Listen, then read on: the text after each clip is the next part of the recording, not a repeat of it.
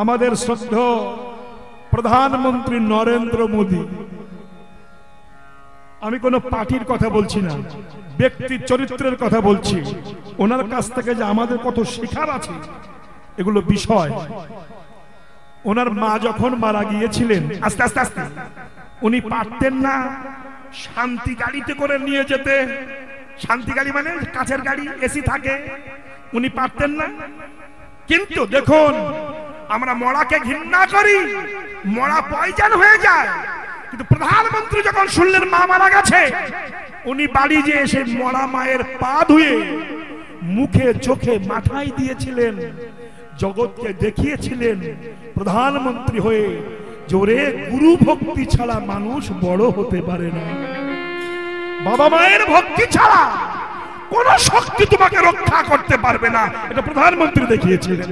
এবং বাঁশের একটা খাঁচা করেছিল। আপনারা দেখেছেন টিভিতে? বাঁশের খাঁচা। জানতে পারেন? আজকাল বাপ মা মরে গেলে গেজেটেড অফিসাররা পায়ের জুতো খোলে না। শ্মশানে যদি যায়, গাড়িতে করে যায়, জুতো পরে। আর প্রধানমন্ত্রী পায়ের দিকে তাকান। মাকে যখন কাঁধে নিয়েছে, নিজে কাঁধে করে তার লোক ছিল না। মাকে নিজে কাঁধে নিল কেন? শিখালেন আমাদের। যে প্রধানমন্ত্রীর আসনে বসেছি বলে আমি মাতৃভক্তি ভুলে যাইনি। তুমি গেজেটেড অফিসার হয়ে বউকে বয়ে বইয়ের কুমন্ত্রে যেমন বাপ মাকে ভাব দিচ্ছ না, আমি প্রধানমন্ত্রী হয়েও সেটা কিন্তু করিনি। শিক্ষা, এগুলো শিক্ষার। তারপরে কাঁধে করে নিজে নিয়েছে, পায়ে খালি পায়ে জুতো ছিল না। খালি পায়ে মাকে কাঁধে করে বলো হরি হরি বল বলতে বলতে কাঁধে করে নিয়ে গিয়েছে আস্তে যুধিষ্ঠি বলেছিলেন যে পাঁচতলা বাড়ির লোক পাথর বসানো পাঁচখানা রাশিয়ান কুকুর লিফটের বাড়ি কোনো কিছু অভাব ছিল না। স্পঞ্জের গতিতে শুধু তার পরিণতি প্রাণ পাখি যখন উড়ে গেল পাশের একটা খাঁচা হলো, চারজনাতে কাঁধে নিল। বলো হলো হরি হরি বল বলল। মাটির ভাড়ে গোবর গুললো, পিছনে গোবর ছটা দিল। বলো, হরি বল হরি বল বলে সব কিছু বলে রইল, চিরতরের মতো শ্মশানে চলে গেল। কিন্তু যারা শ্মশানে নিয়ে গেল, সেই ব্যক্তিটা সব খুলে নিল, উলঙ্গ করে তুলে দিল, শ্মশানের চিতার উপরে। জানেন? পুড়ে গেল দেহটা। আস্তে আস্তে আস্তে। মাথা ভাঙছে না পড়ছে না মাথায় বাঁশের বাড়ি মারলো। যে ব্যক্তিটা নিজ হাতে মারলো মাথাটা ভাঙলো যার চোখের সামনে ওই দেহটা পুড়ে ছাই হয়ে গেল সেই বাড়ি এসে পুড়িয়ে বাড়ি এসে নিজের ভাইয়ের মাথায় বাড়ি মেরে মাথা ভেঙে দিচ্ছে এক হাত জাগার জন্য। এত বড় আশ্চর্য। আর পৃথিবীতে হয় না। দেখলেন? আশ্চর্যটা আর একটা আশ্চর্য কি? একটা কলসির জল দিয়ে সাতখানা কলসি পূর্ণ হবে কিন্তু সাতটা কলসির জল দিয়ে একটা কলসি পূর্ণ হবে ধর্মরাজ বক বললেন এর তত্ত্বটা কি? তত্ত্ব হচ্ছে আস্তে। একটা কলসির জল ঢেলে মানে? বলে একটা মায়ের স্তনের দুধে সাতখানা বাচ্চা মানুষ হবে। কিন্তু সাতটা বাচ্চার ইনকামের ভাত একটা মা খেতে পারবে না। এত বড় আশ্চর্য। পৃথিবীতে আর হয় না। কত বারান্দায় আমি দেখেছি, আমি রাধাপদ গান গাইতে যাই সারা ভারতবর্ষ। বাংলাদেশ, সারা পৃথিবীতে কিছু কিছু জায়গায় যায়। কত মা বারান্দায় বসে কাঁদে, কত বাবা কাঁদে, চোখের জল ভেসে যায়। এক মুঠো ভাত জোটে না, শুধু কাঁদে। এর মতো আশ্চর্য জগতে আর হয় না। তাহলে কিবা বার্তা কি আশ্চর্য? পদ বলি কারে? তিন নম্বর প্রশ্ন, পথ মানে মহাজনগতস্য পন্থা। এই যে বৌমা, পথ মানে কি? অমাবস্যা পূর্ণিমায় মাছ মাংস খাবেন না, এটা পথ। কেন? অমাবস্যা পূর্ণিমা একাদশীতে যদি মাছ মাংস খাওয়া হয়, একা এই তিথিগুলোতে রক্তে রস হয়, তো বিজ্ঞান মতে কথা। ডাক্তারকে প্রশ্ন করবেন, দেখবেন তিথি এসেছে, তার আগের দিন থেকে হাত পা কামড়ায়। তাই না তিথি বোঝা যায় না অথে অমাবস্যা পূর্ণিমা একাদশীতে মাছ মাংস খাবেন না। রোগ যদি হয় ওই রোগ পৃথিবীর কোন ডাক্তার ভালো করতে পারবে না। এই জন্য একাদশী পূর্ণিমা অমাবস্যাতে মাছ মাংস খাওয়া ঠিক নয়। আস্তে এবং শিব চতুর্দশী ব্রত রাম নবমী দুর্গা অষ্টমী জন্মাষ্টমী এইগুলো বিশেষ করে মেনে চলা উচিত। যদি না চলেন যদি অষ্টমীর দিনে নারকল খান ওই নারকল জীবন ভর আপনার লিভার থেকে যাবে না, পড়ে থাকবে। ও থেকে গ্যাস সৃষ্টি হবে, অ্যাসিড উৎপত্তি হবে। মহাজনগত পন্থা যারা গ্যাসে মরে যাচ্ছেন, গ্যাস ভালো হচ্ছে না। ভীষণ গ্যাস, ডাক্তার দেখাচ্ছে ভালো হচ্ছে না। আমি রাধাপদ ঘোষ আর কীর্তন গাইব না, ছেড়ে দেবো খুব সত্তারে। যাওয়ার সময় ওষুধ বলে যায়, যদি পারেন প্রত্যেকদিন সকালবেলা খাবেন। বলব? জার্মানি লতা চেনেন? জার্মানি লতা। কেউ চেনেন না? ওই যে হাত পা কেটে গেলে পাতা এরকম ঘষে রস দেওয়া দেখেছেন? ছোট ছোট পাতা গোল গোল। কলা গাছে উঠে বেড়ায়, গরু খায়। হ্যাঁ আস্তে। পানের পাতা মতো পাতা, ছোট ছোট। তুমি মরে গেলে তো অর্জন তাহলে যদি পারেন, আমি বলব মা, এসব পয়সা লাগবে না, কিন্তু হান্ড্রেড পার্সেন্ট কাজ হবে। আস্তে। পিছনে আমার রাধা গোবিন্দ বসে আছেন। আমি কীর্তনিয়া হয়ে আমি চ্যালেঞ্জ করে বলছি, আর পয়সা ব্যয় করতে হবে না। ওই জার্মানি পাতা প্রত্যেকদিন খালি পেটে বেশ, এতটা পাতা তুলে ভালো করে ধুয়ে নেবেন। ধুয়ে ভালো করে বেটে, শিলে রস করে নিংড়িয়ে হাফ কাপ হাফ কাপ চায়ের কাপ প্রত্যেকদিন সকাল সন্ধ্যে খান। এক মাস পরে যদি আপনার গ্যাস চলে না যায়, আমি কীর্তন ছেড়ে দেবো, কীর্তন করব না।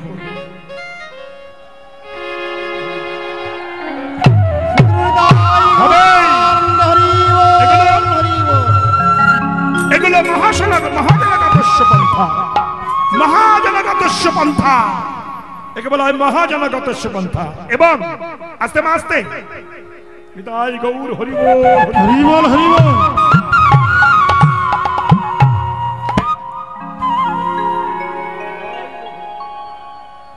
আমি আরও মায়েরা এগুলো মহাজনগত পন্থা মহাজন এগুলো করে বেঁচেছিলেন। আস্তে আস্তে আস্তে।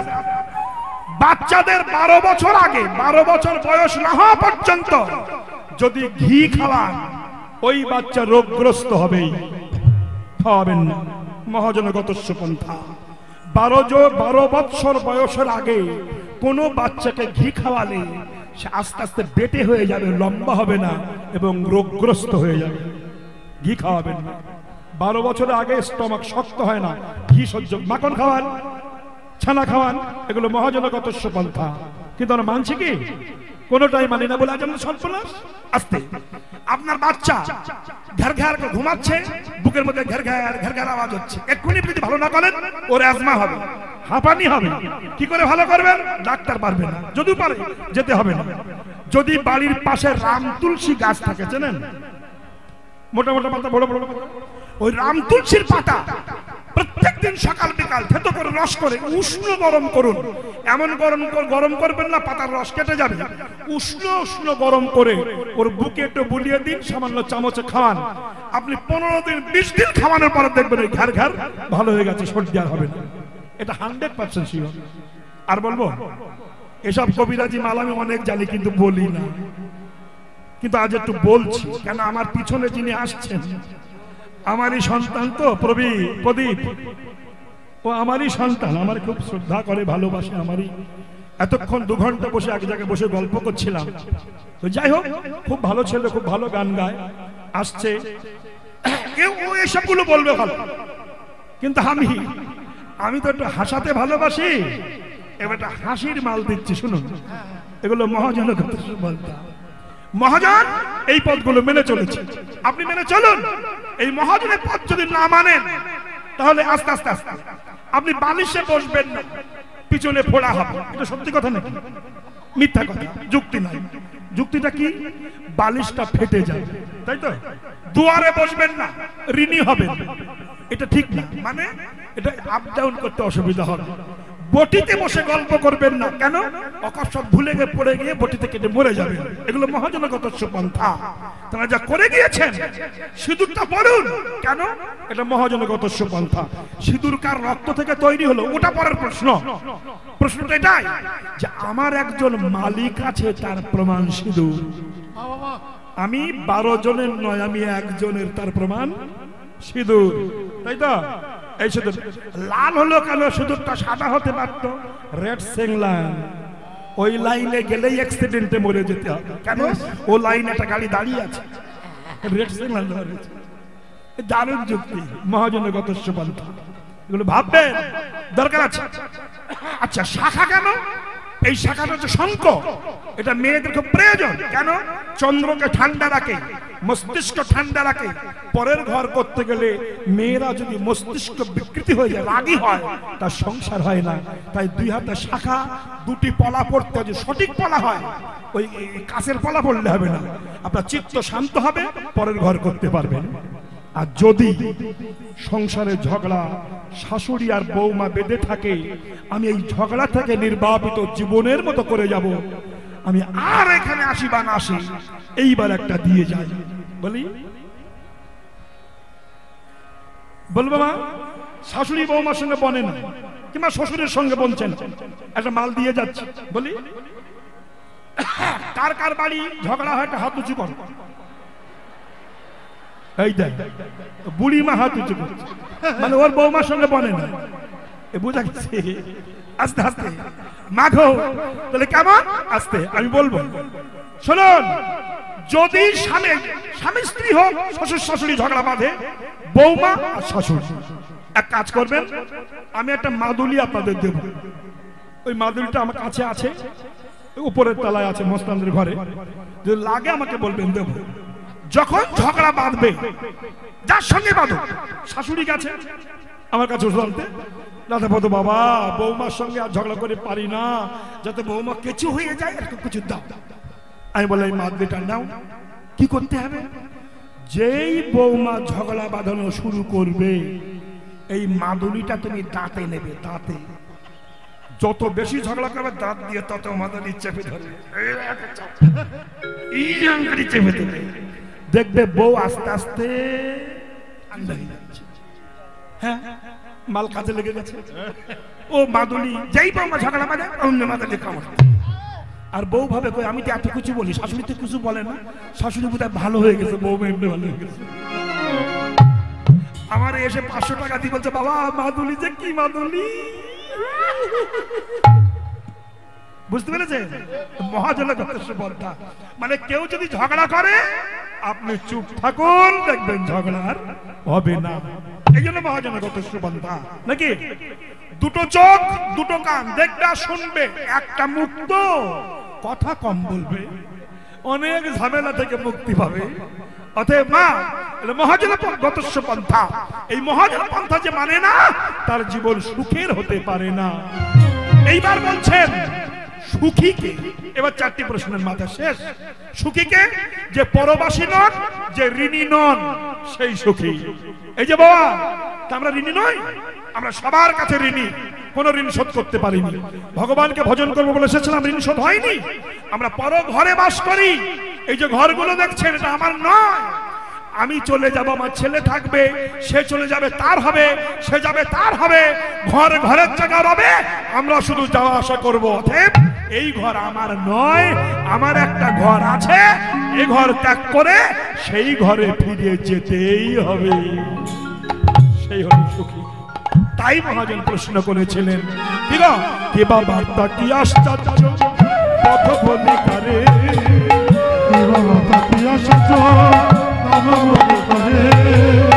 কোন জন সুখী হবে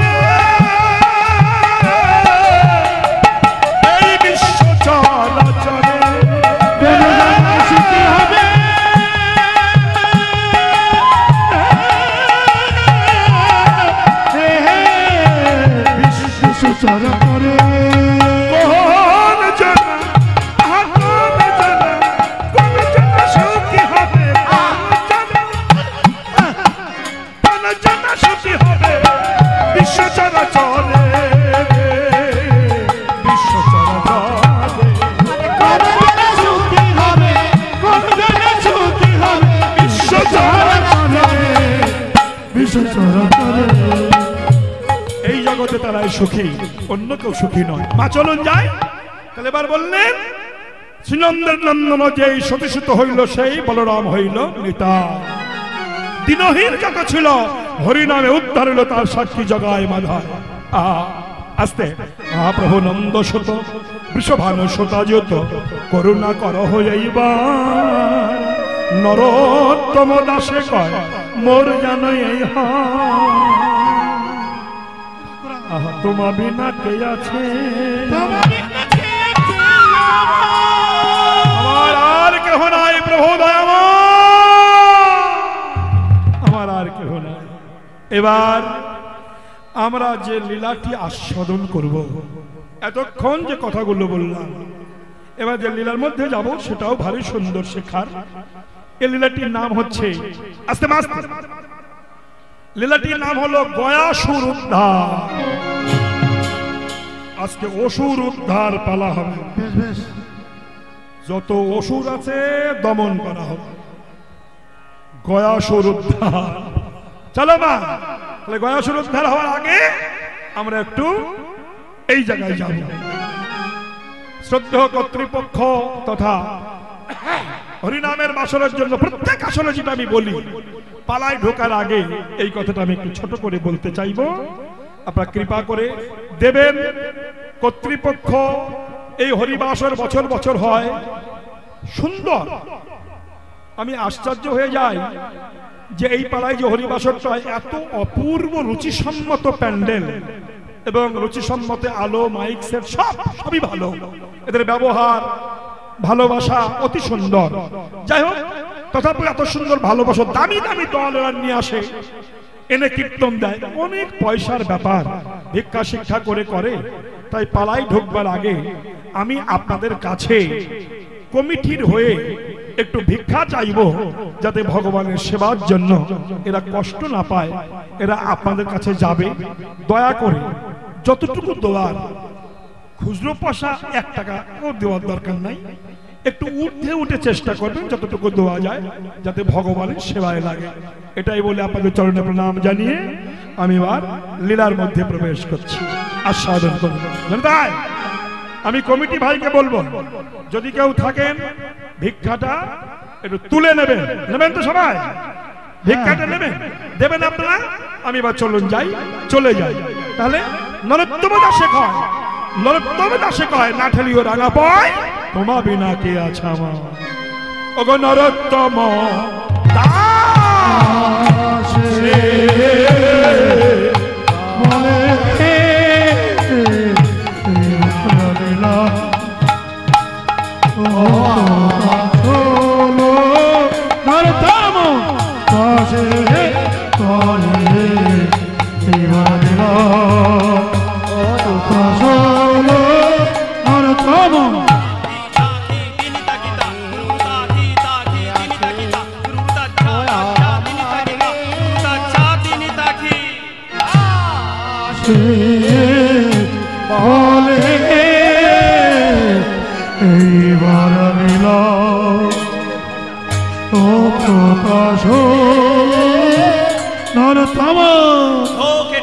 কেটা ধেরে কেটা দাদেই তা ঘেনা তিনি তা কেটা তেরে কেটা তাথেই তা কেটা তিনি কেটা তিনি কেটা তিনি তেরে কেটা কেটা তিনি দাদা দিনে তা কেটা তেরে কেটা তেরে তেরে কেটা তাকি তেরে কেটা তাতা তিনে তা কেটা তেরে কেটা তেরে তেরে কেটা তাকি তেরে কেটা তিন তা কো তেরে কেটা কেটা গিনি গিনা ধো কেটা ধেরে কেটা দাদেই তা ঘেনা তিনি তা কেটা তেরে কেটা তাথেই তা কেটা তিনি কেটা তিনি কেটা তিনি তেরে কেটা কেটা তিনি দাদা দিনে তা কেটা তেরে কেটা তেরে তেরে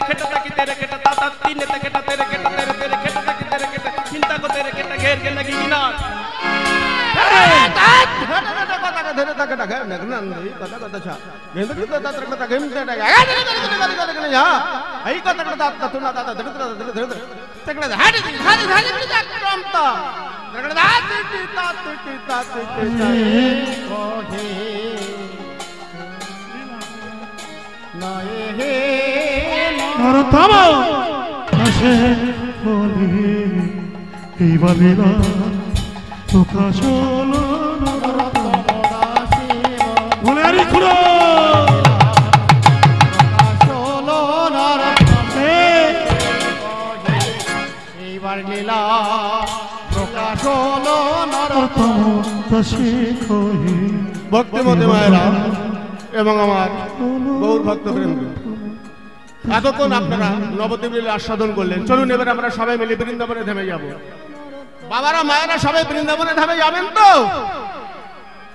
তো বাসে যাবেন না ট্রেনে যাবেন না হেলিকপ্টারে যাবেন।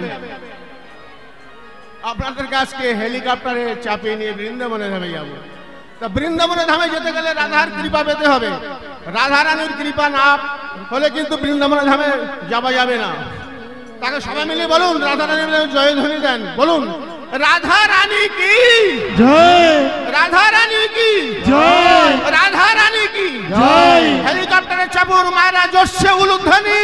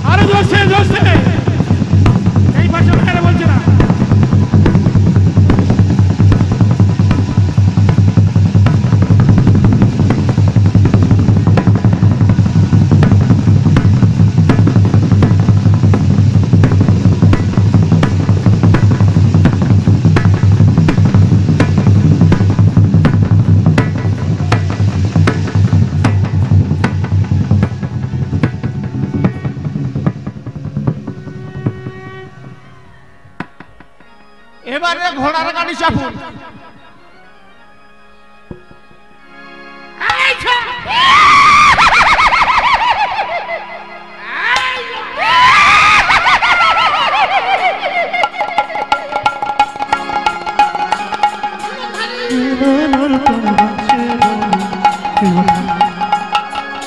নরোত্তম দাসে বলে বর্ণলা। মায়েরা জয় ধর্ম নরোত্তম দাসে কহে বর্ণলা।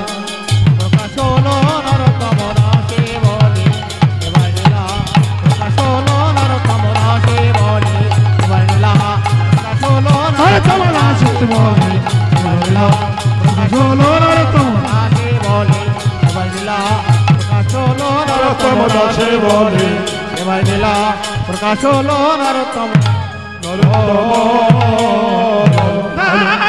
hello hello hello hello hello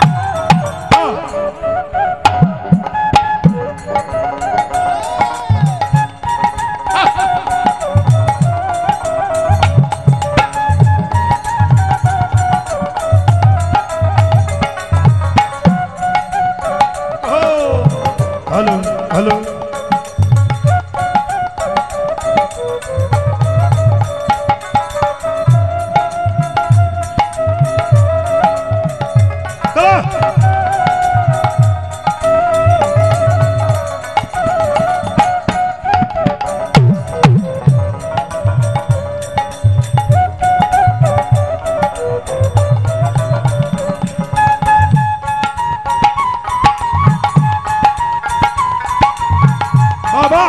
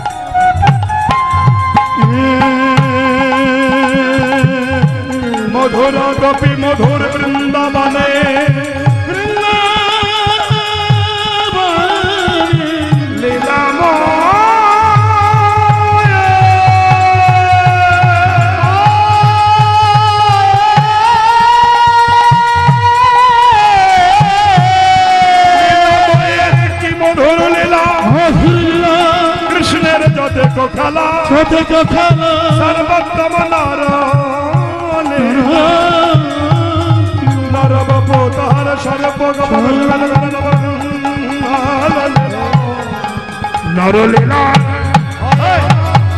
নরলীলার হয়। অনুরূপ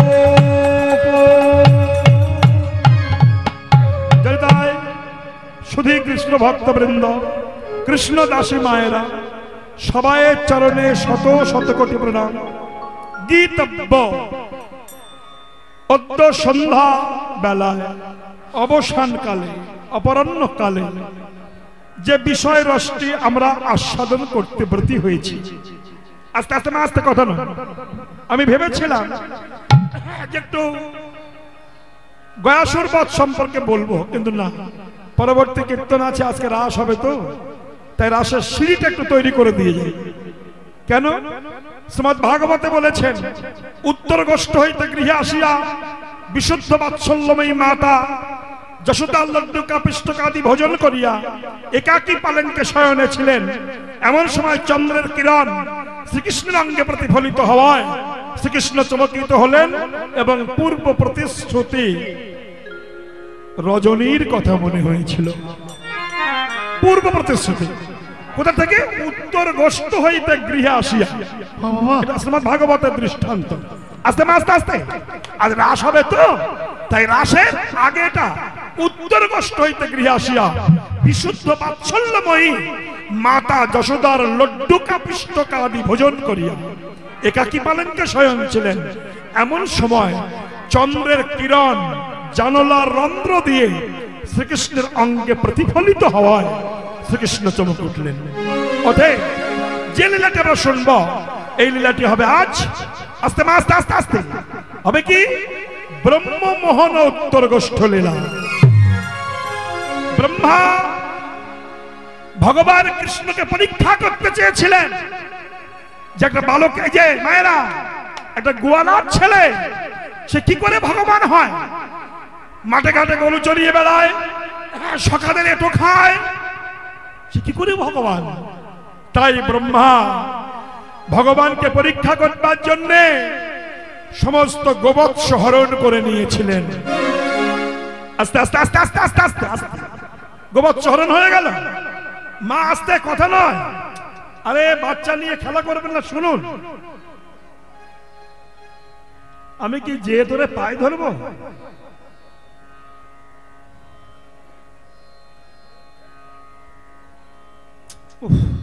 আচ্ছা তাহলে একবার হরণ করে নিয়ে গেল।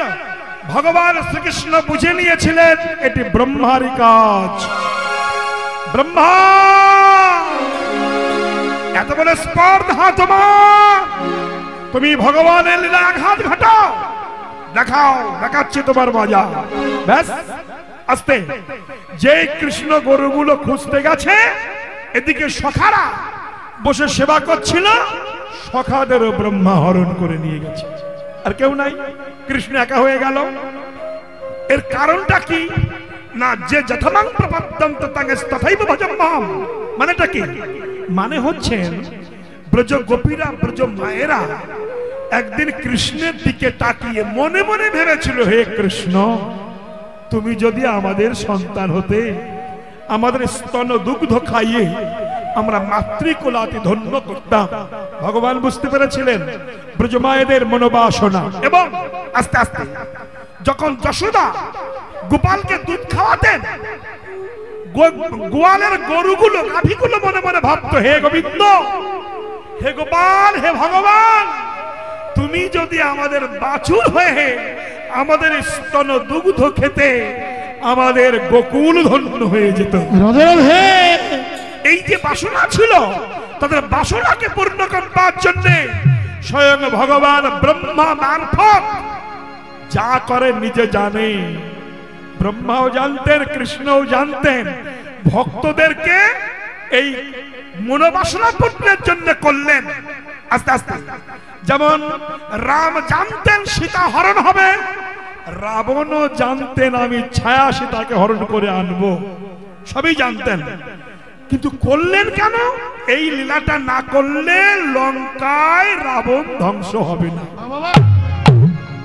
সমস্ত লীলার পিছনে একটা করে যুক্তি আছে। যাই হোক, এইবার কি করল দেখুন, যখন ব্রহ্মা নিয়ে যে গুহার মধ্যে রেখে দিল, ভগবান চিন্তা করলেন, প্রত্যেক ঘরের শ্রীরাম সুদাম, দাম, বসুদাম বটু মধুমঙ্গল প্রমুখ সখাদের মায়েরা আশা পথে চেয়ে বসে আছে, কখন আমার শ্রীরাম বাড়ি আসবে, কখন আমার সুদাম আসবে, কখন সুবল আসবে, কিন্তু এদেরকে তো হরণ করে নিয়ে গেছে ব্রহ্মা। কি করব? গরুগুলোও নয় আস্তে? আস্তে আস্তে। তখন কৃষ্ণ নিজে হলো গরু নিজে হলো বাছুর নিজে হয়েছে খুঁটি নিজে দড়ি। আস্তে। আর নিজে হয়েছে শ্রীদাম সুদাম দাম বসুদাম বটু মধুমঙ্গল।